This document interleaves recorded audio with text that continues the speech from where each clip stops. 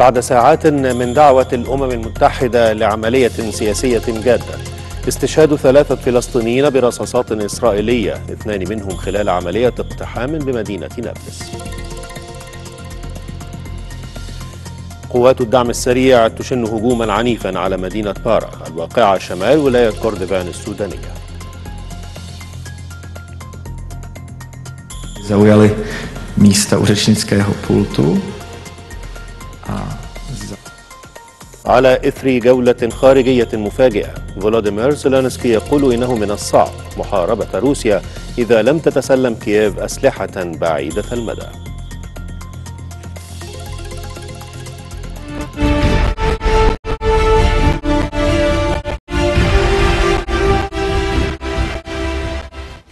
السابعة صباحا في القاهرة نشرة أخبار جديدة من النيل. مرحبا بكم. شدد السفير بسام راضي سفير مصر لدى إيطاليا ومندوبها الدائم لدى منظمة الأمم المتحدة في روما خلال إلقائه بيان مصر أمام مؤتمر وزاري لمنظمة الأغذية والزراعة الفاو. شدد على أن مصر تولي قضية المياه أقصى درجات الاهتمام من خلال المحافظة على مواردها المائية التاريخية وتنميتها وحسن إدارتها. وقال السفير بسام راضي أن مصر تبنت مبادرات عدة من أجل تحقيق الأمن الغذائي ومعالجة تحديات ذات صلة بالأمن المائي والتغيرات المناخية.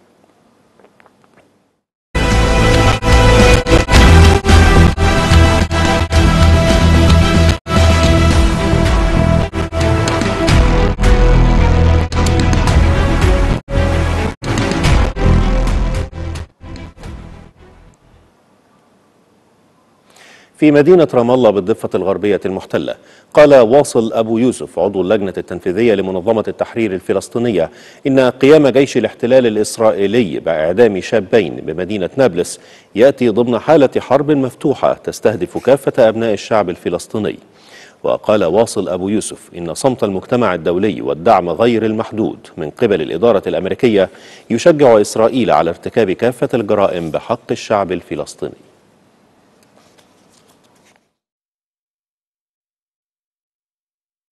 وآثار الدم اللي موجودة هناك هاي لا خير شاهين الله يرحمه. كل هذه الدماء وكل تلك الرصاصات وجيش الاحتلال يسميها مداهمة أو ملاحقة. إن كانت تلك مداهمة فكيف يكون الاغتيال؟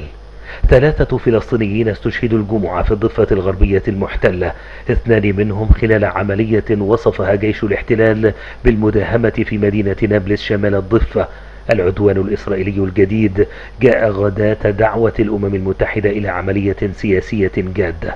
جيش الاحتلال زعم في بيان أن الفلسطينيين لقيا حتفهما إثر تبادل لإطلاق النار مع قوات الأمن مضيفا أن عملية استباقية مشتركة للجيش الإسرائيلي وجهاز الأمن العام جرت في مدينة نابلس وأن عناصره حاولت اعتقال الشابين للاشتباه بتنفيذهما لعملية إطلاق نار عند إحدى المستوطنات في الخامس من يوليو الجاري. وفي وقت لاحق الجمعة استشهد شاب فلسطيني ثالث الثالث يدعى عبد الجواد حمدان صالح خلال تظاهرة ضد الاستيطان في قرية أم صفا شمال رام الله حسب ما أعلنت وزارة الصحة الفلسطينية. القرية شهدت مؤخرا مواجهات بين سكانها ومستوطنين إسرائيليين وقال بيان لجيش الاحتلال إن مثيري شغب رشقوا القوات وطريقا رئيسيا بالحجارة مشيرا إلى أن عناصره ردت بوسائل مكافحة الشغب وإطلاق رصاص حي. تصاعدت وتيرة العنف بين جنود الاحتلال والمستوطنين من جانب وأبناء الأرض من جانب آخر منذ العام الماضي خاصة بعدما تولت حكومة نتنياهو وحلفائه من اليمين المتطرف مقاليد الأمور في تل أبيب لترتفع حصيلة شهداء المواجهات والعمليات العسكرية منذ مطلع يناير وحتى الآن إلى 193 فلسطينيا. في مدينة رام الله بالضفة الغربية المحتلة أيضا شدد الرئيس الفلسطيني محمود عباس أبو مازن عقب لقائه وزير خارجية سلطنة عمان بدر بن حمد بن حمود أبو البوسعيدي على أهمية وجود حراك عربي ودولي لإنهاء الاحتلال الإسرائيلي لأرض دولة فلسطين وعاصمتها القدس الشرقية. وقام الرئيس الفلسطيني محمود عباس خلال اللقاء بإطلاع وزير خارجية سلطنة عمان على آخر مستجدات الأوضاع بالأراضي الفلسطينية في ظل تواصل عدوان إسرائيل على الشعب الفلسطيني وأرضه ومقدساته.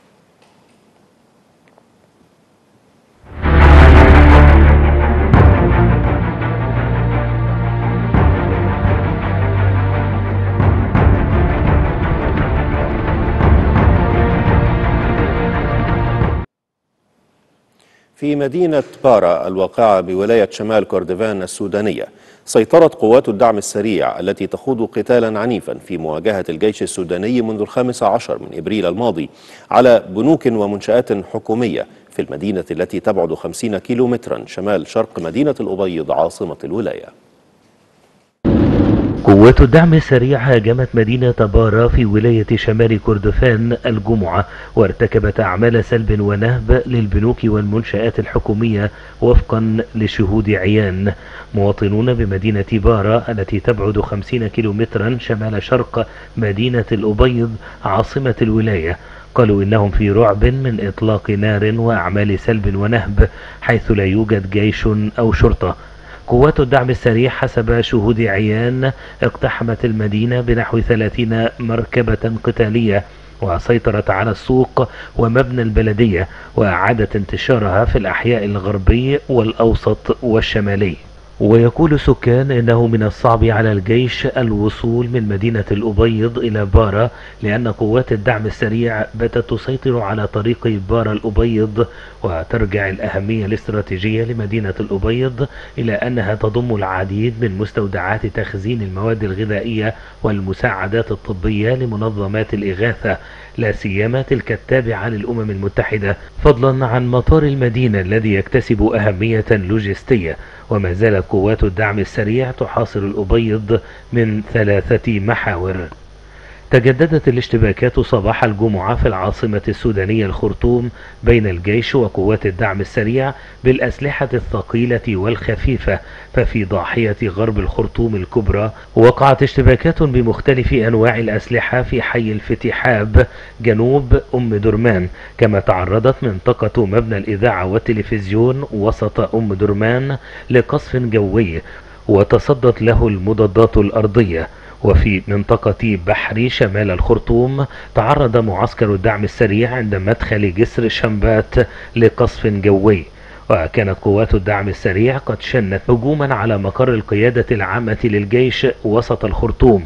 وتمكن الجيش من صد الهجوم وتدمير أكثر من عشر مركبات قتالية بعد اشتباك استمر أكثر من ساعة. أصدر الرئيس التونسي قيس سعيد قرارا يقضي بإعفاء فاطمة يعقوبي من عضوية اللجنة الوطنية للصلح الجزائي. كان الرئيس التونسي قيس سعيد أنشأ اللجنة الوطنية للصلح الجزائي عام 2022 بهدف إبرام صلح جزائي مع المتورطين في الفساد من رجال الأعمال التونسيين.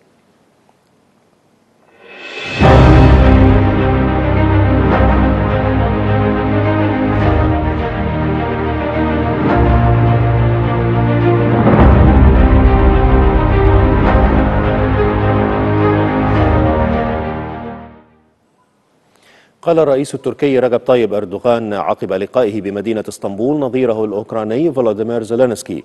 إن بلاده ستواصل جهودها الهادفة لإنهاء الحرب الأوكرانية. قال رجب طيب أردوغان أيضا إنه يأمل أن يتم تمديد اتفاق تصدير الحبوب الأوكرانية عبر البحر الأسود بعد انقضاء مدته في السابع عشر من يوليو الجاري. وفي العاصمة الروسية موسكو قال ديمتري بيسكوف المتحدث باسم الرئاسة الروسية إن تركيا بذلت جهودا كبيرة لتسوية العديد من المشكلات المتعلقة بالصراع في أوكرانيا Нам будет интересно узнать, э, о чем э, будет вестись речь. نحن مهتمون بما بحثه السيد أردوغان والسيد زيلينسكي هذا مهم تعرفون أن السيد أردوغان بذل جهودا كبيرة لتسوية العديد من المشكلات فيما يتعلق بالصراع في أوكرانيا ولعب دور وساطة وهذا الدور يلقى تقديرا كبيرا من الرئيس فلاديمير بوتين. وفي العاصمة الأمريكية واشنطن قال الرئيس الأمريكي جو بايدن إن قرار بلاده تزويد أوكرانيا بقنابل عنقودية كان صعبا للغاية. وقال جو بايدن إن أوكرانيا تحتاج بكل شدة للقنابل العنق- العنقودية بسبب استنزاف ذخيرتها في مواجهة العمليات العسكرية الروسية foremost is relatively simple.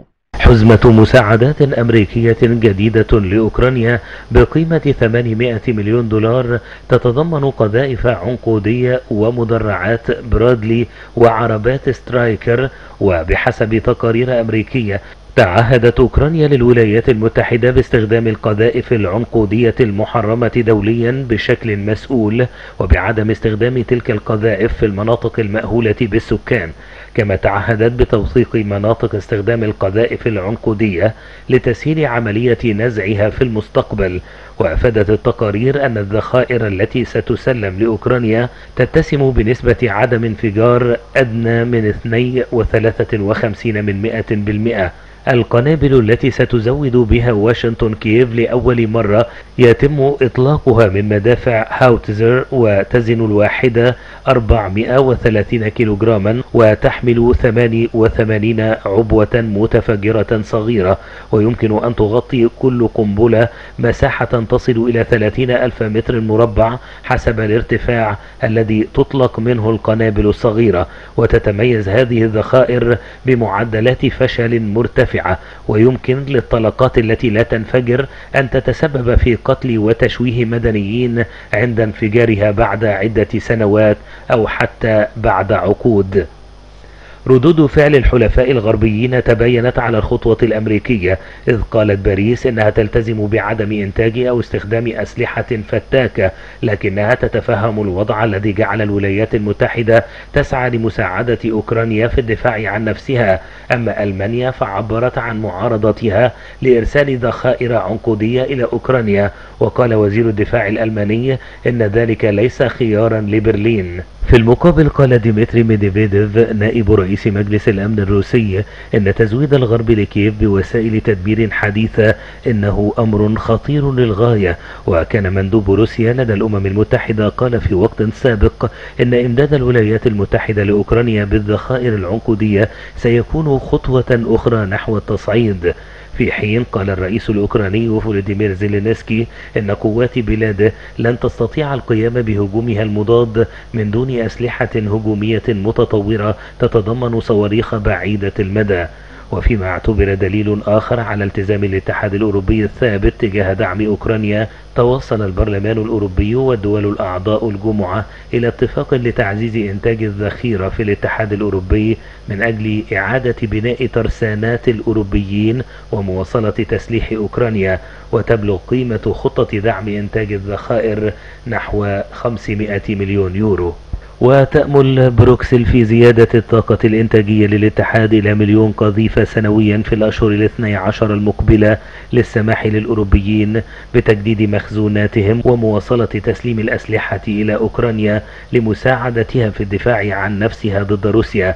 وتطبق الدول الأعضاء خطة أخرى بقيمة ملياري يورو لإرسال مليون قذيفة إلى أوكرانيا من مخزونها هذا العام ولتمويل مشتريات مشتركة من الذخيرة لكييف. ويقول الاتحاد الأوروبي أنه زود كييف أسلحة تبلغ قيمتها الإجمالية حوالي 15 مليار يورو منذ بدء العملية العسكرية الروسية في فبراير عام 2022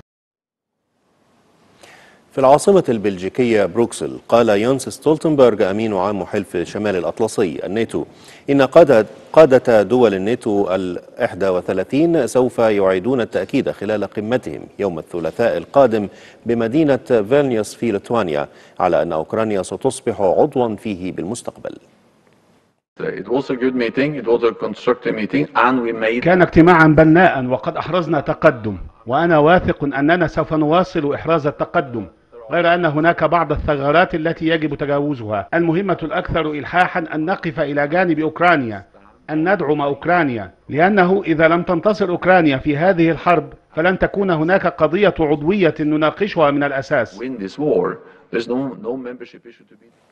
في العاصمة الأمريكية واشنطن أصدر الرئيس الأمريكي جو بايدن بيانا أعلن فيه أن بلاده دمرت آخر مخزوناتها من الأسلحة الكيماوية لتستكمل بذلك عملية بدأت عام 1997 عندما وقعت الاتفاقية العالمية لحظر هذه الأسلحة الفتاكة. كان الموقعون على اتفاقية حظر الأسلحة الكيماوية لعام 97 قد دمروا بالفعل احتياطاتهم وفق ما أعلن المدير العام لمنظمة حظر الأسلحة الكيماوية فرناندو آرياس في مايو الماضي. وفي العاصمة الصينية بكين دعت وزيرة الخزانة الأمريكية جانيت يلن عقب لقائها رئيس وزراء الصين لي تشيانغ إلى ما وصفته بمنافسة سليمة بين بلادها والصين. بالتزامن مع تصاعد التوترات السياسية وتأزم العلاقات الاقتصادية بين البلدين جاءت زيارة وزيرة الخزانة الأمريكية جانيت يالن إلى الصين في مسعى من الجانبين إلى البحث عن سبل لتهدئة التصعيد في العلاقات المتوترة بينهما في الأساس. يلين أكدت في زيارتها إلى بكين الحاجة إلى منافسة سليمة بين الصين والولايات المتحدة رغم الخلافات التجارية بين أكبر اقتصاديين عالميين مشددة على أن فك الارتباط بين واشنطن وبكين مستحيل عمليا وسيؤدي إلى زعزعة الاقتصاد العالمي. وخلال لقاء مع رئيس الوزراء الصيني لي تشيانغ أعلنت يلين أن الولايات المتحدة تسعى إلى منافسة اقتصادية سليمة مع مجموعة من القواعد المنصفة. يمكن أن يستفيد منها البلدان. فيما رأى لي تشيانغ تحسنا محتملا في العلاقات بعد فترة صعبة معربا عن أمله في أن تكون تلك الزيارة بادرة نحو تحسن العلاقات بين البلدين. وتأتي زيارة يلين وتصريحاتها بينما يدعو السياسيون أمريكيون منذ أشهر إلى فك الارتباط بين الاقتصادين لخفض اعتماد واشنطن على الدولة الأسيوية العملاقة وسط تصاعد الخلافات الجيوسياسية. وتتعلق نقطة الخلاف الرئيسية بين واشنطن وبكين بأشباه الموصلات مع فرض واشنطن في الأشهر الأخيرة قيودا لقطع إمداد الشركات الصينية بالتقنيات الأمريكية ولا سيما الرقائق. فيما تعتبر بكين التي تسعى إلى أن تصبح مستقلة في هذا المجال تعتبر أن هذه الإجراءات تهدف إلى عرقلة تنميتها والحفاظ على التفوق الأمريكي. أعلن رئيس وزراء هولندا مارك روتا تقديم استقالة حكومته بعد انهيار ائتلاف سياسي حاكم منذ عام ونصف جراء خلافات بين أركانه على إجراءات مكافحة الهجرة. كان مارك روتا وهو رئيس الوزراء الأطول عهدا في تاريخ هولندا أشرف على مباحثات لحل الأزمة بين الشركاء الأربعة في الائتلاف اعتبارا من الأربعاء الماضي. لم تبلغ هدفها المنشود في ظل خلافات غير قابلة للحل.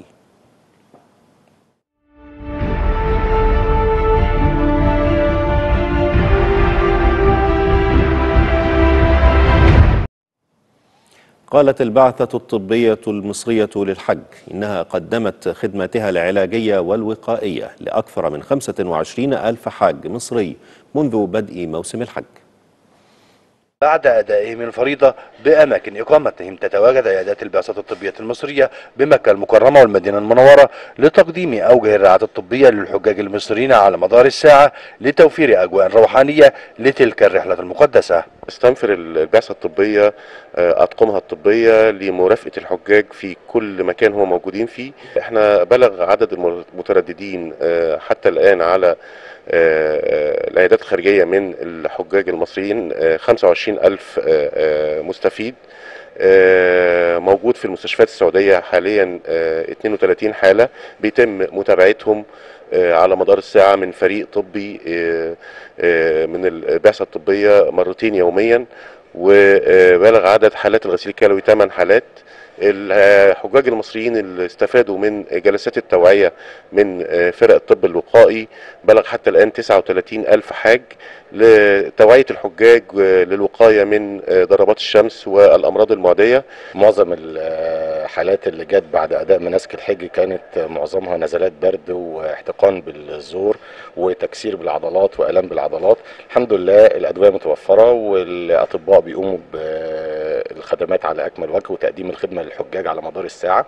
إحنا مستمرين مع الحجاج إن شاء الله آه، إلى أن يغادر آخر حاج مكة المكرمة بإذن الله. كانت الأدوية متوفرة أدوية نزلات البرد ال- الشائعة في نزلات البرد الشائعة دلوقتي في في الفترة اللي إحنا فيها آه، سواء من أدوية خوافض حرارة أو مضادات حيوية أو مسكنات آلام كل الأدوية متوفرة. 39 ألف حاج. تم توعيتهم من خلال أكثر من 1300 ندوة توعوية في كيفية الوقاية من الأمراض المعدية ومنع انتشارها منذ وصولهم إلى الأراضي المقدسة وحتى الآن. إحنا عندنا محورين دلوقتي. المحور الأول هو متابعة الإيجاد الحراري وارتفاع درجة الحرارة اللي موجودة هنا في المملكة فاحنا شغالين مع الناس طبقا للتوصية اللي موجودة من وزارة الحج والعمرة هنا والبعثة الطبية المصرية إن إحنا ال- الناس تصلي في المساجد القريبة من الحرم مش لازم تعمل على نفسها مجهود وتروح الحرم وتصلي في الشمس لأن ده بيعرضها لضربات الشمس والإجهاد الحراري وإحنا في غنى عن الكلام ده. عندنا في آه، استبيان في الحجر الصحي في المطار لل- للحجاج القادمين. بنشوف آه، إيه اللي مروا بيه من أعراض أو إذا مر بيهم أي أمراض آه، معدية أو أعراض مرت عليهم. ضيوف الرحمن من الحجاج المصريين أثنوا على الخدمة العلاجية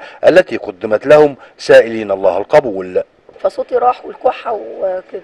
فجيت للدكتورة الدكتورة كشفت عليا تمام زي الفل والصيدلي اداني العلاج زي الفل والأمور زي الفل الحمد لله. جيت كشفت كنت تعبانة في صدري جيت كشفت كشفوا لي وجو وادوني الروشتة وكتبوا لي العلاج يعني. جابوني هنا ناخد جلسة آه، أكسجين. والحمد لله أحسن يعني من جيت هنا الدواء اتغير والعادي عايز عايز علاج تاني نوع تاني جابوه لي. معاملة جيدة جدا. ناس كويسة يعني واستقبال كويس ومعاملة كويسة يعني صراحة.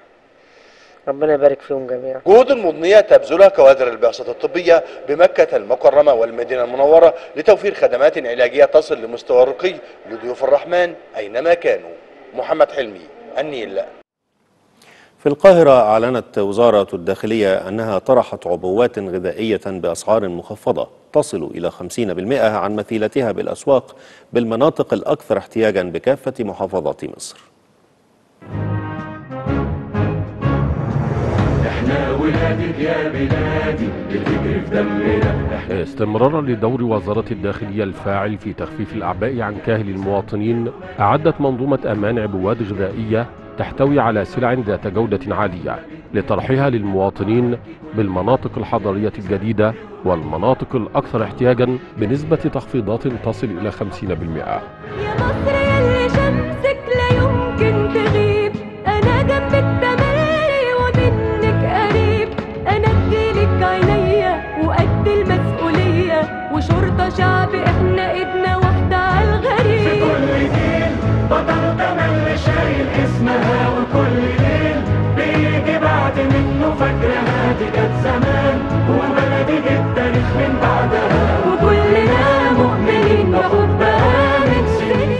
المنفذ ده أسعاره يعني مش موجودة في حتة تانية. ده حقيقي. وخدت اللي أنا عايزه كله. فعلا شاملة حاجات كويسة وحاجات أساسية. وجودتها كويسة وسعرها كويس. الأصناف كلها متاحة. بأسعار طبعا مختلفة عن الأسعار بره بالنسبة للسوق. المنتجات كلها موجودة وبأسعار أقل. بشكر سيادة الرئيس عبد الفتاح السيسي على هذه المبادرة. وعيشي حرة يا بلادي في كل الأزمنة ووقت لما تحتاجين كما تطرح المنظومة هذه العبوات عبر منافذ متحركة وهي سيارات تتوجه بها إلى الشوارع والميادين لضمان استفادة المواطنين من التخفيضات بأماكن كثيرة على مستوى الجمهورية. من خلال 1026 منفذا ثابتا ومتحركا تابعا لها على مستوى الجمهورية وموضحة على موقع الوزارة على الإنترنت. وهو ما يأتي استمرارا لجهود أجهزة وزارة الداخلية في المساهمة في تخفيف الأعباء عن كاهل الأسر المصرية. يا مصر يلي شمسك لا يمكن تغيب. أنا جنبك تملي ومنك قريب. هنديلك عينيا وقد المسؤولية. وشرطة شعب إحنا إيدنا واحدة على الغريب في كل جيل بطل تملي شايل اسمها وكل بيجي بعد منه كانت زمان مبادرة جميلة ممتازه وفرت للناس كتير. يعتبر الحاجة اللي معروضة بأقل من نص الثمن كمان. بنشكر الريس على إن هو بيهتم بالناس الغلابة. ربنا يخليكم لنا. وتحيا مصر. هكذا تسعى وزارة الداخلية إلى تحقيق التكافل الاجتماعي من خلال المساهمات الاجتماعية والمبادرات الإنسانية وتوفير احتياجاتهم بأقل تكلفة ممكنة. يا مصر يلي شمسك لا يمكن تغيب. أنا جنبك تملي ومنك قريب أنا أديلك عينيا وقد المسؤولية. وشرطة شعب إحنا ايدنا واحدة على الغريب. في كل جيل بطل تملي شايل اسمها. وكل ليل بيجي بعد منه فاكرها دي كانت زمان وبلدي التاريخ من بعدها.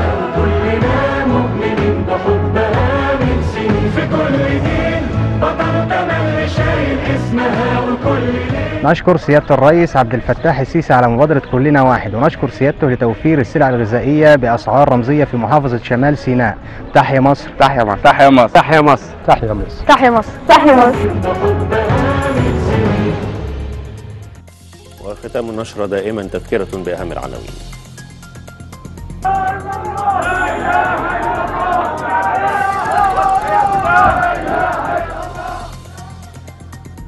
بعد ساعات من دعوة الأمم المتحدة لعملية سياسية جادة استشهاد ثلاثة فلسطينيين برصاصات إسرائيلية اثنان منهم خلال عملية اقتحام بمدينة نابلس قوات الدعم السريع تشن هجوما عنيفا على مدينة بارا الواقعة شمال ولاية كوردفان السودانية.